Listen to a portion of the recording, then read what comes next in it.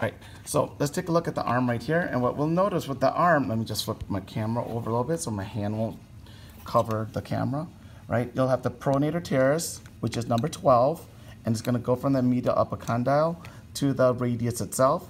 Then immediately, right, medial to that is number 13, which is your flexor carpi radialis. Then next to that is number 14, your palmaris longus. That's the one that we mentioned that some people might have, and it's kind of a vestigial muscle. All right, then when you look directly below and most medial, you see a number 15. This is your flexor carpi ulnaris. Now, the other muscle we're gonna look at, you would actually have to remove some of the muscles up here. So let's remove your brachioradialis muscle. What you'll notice is right away, if you follow the pronator teres, there's a muscle immediately lateral to this. This is your supinator muscle.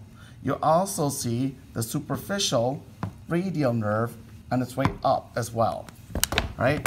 On the underside as well, we'll remove the pronator teres musculature, and then you see this muscle that goes under the flexor retinaculum and into the palms.